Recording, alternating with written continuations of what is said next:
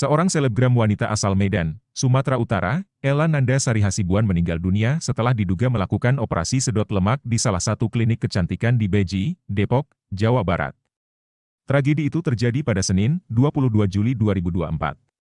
Polisi mengetahui kasus dugaan malapraktik itu setelah viral di media sosial. Kapolres Metro Depok Kombes Arya Perdana mengatakan berdasar pendalaman sementara, tindakan sedot lemak terhadap perempuan 30 tahun itu dilakukan oleh dokter, berinisial A, serta dua orang perawat, berinisial K dan T. Ia menjelaskan berdasarkan keterangan dokter, saat itu korban ingin melakukan operasi sedot lemak di lengan kanan dan kiri. Operasi disebut berhasil dilakukan di salah satu lengan korban. Ella sempat dilarikan ke rumah sakit, namun akhirnya dinyatakan meninggal dunia. Yang satu lengan berhasil yang satu lengan begitu diambil ternyata ada masalah di situ. Pembuluh darahnya pecah sehingga mengakibatkan korban ini harus dirawat intensif dan meninggal dunia pada akhirnya, kata Arya kepada wartawan, Minggu, 28 Juli 2024.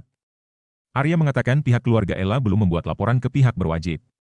Namun, proses penyelidikan tetap akan dilakukan.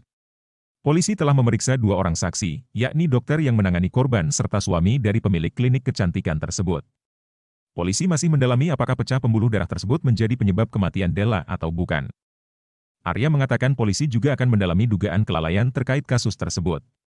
Lebih lanjut, ia mengatakan pihaknya membuka peluang akan melakukan proses ekshumasi untuk mengusut kasus ini. Diketahui, jasad Ella telah dibawa pihak keluarga dan dimakamkan di kampung halaman.